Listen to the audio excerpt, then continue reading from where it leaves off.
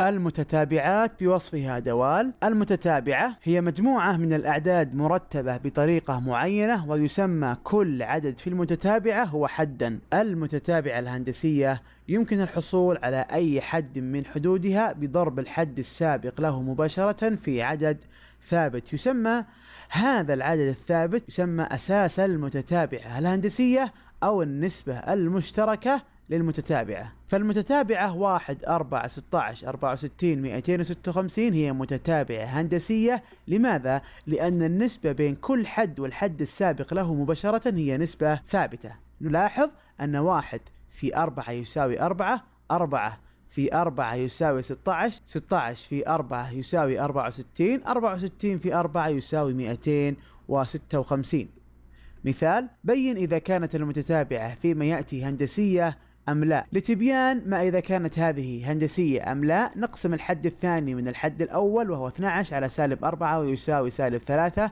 ثم الحد الثالث قسمة الحد الثاني وهو سالب 36 قسمة 12 ويساوي سالب 3 ثم الحد الرابع قسمة الحد الثالث وهي 108 قسمة سالب 36 وتساوي كم؟ تساوي سالب 3 إذا هذه المتتابعة هي متتابعة هندسية لأن النسبة ثابتة. تدريب؟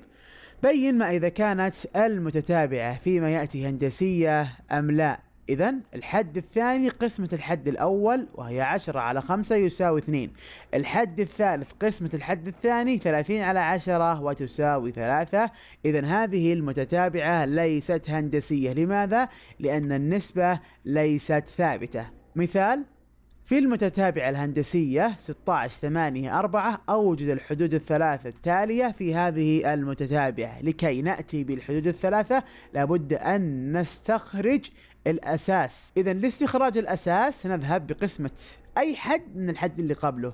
إذا 8 قسمة 16 وتساوي كم تساوي نص. إذا هذه هي النسبة المشتركة. بعد ذلك نذهب لاستخراج الحدود الثلاثة التالية من هذه المتتابعة. هنا الحد اللي بعد الحد الثالث هو الحد الرابع. إذا الحد الرابع وهو أربعة في نص. إذا أربعة في نص يساوي كم؟ يساوي اثنين.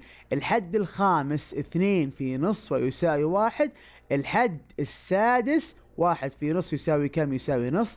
إذا الحدود الثلاثة هي اثنين وواحد ونص. تدريب في هذه المتتابعة الهندسية أوجد الحدين المتتاليين في هذه المتتابعة. أولا نأتي بالأساس نقسم أي حد من الحد اللي قبله بالتالي اثنين قسمة نص هنا.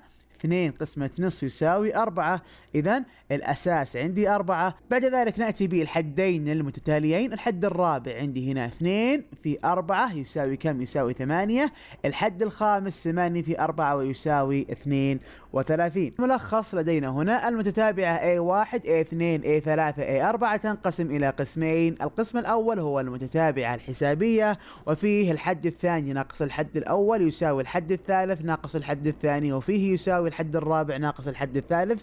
طبعا تكون المتتابعة حسابية متى؟ عندما يكون الفرق بين أي حد والحد السابق له عدد ثابت. أما المتتابعة الهندسية وهي الحد الثاني قسمة الحد الأول يساوي الحد الثالث قسمة الحد الثاني ويساوي الحد الرابع قسمة الحد الثالث. طبعا تكون المتتابعة هندسية عندما تكون النسبة بين أي حد والحد السابق له هو عدد ثابت.